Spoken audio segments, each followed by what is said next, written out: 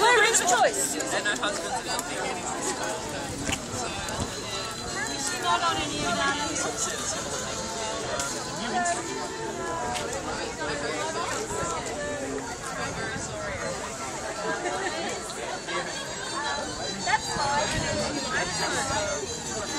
Yeah,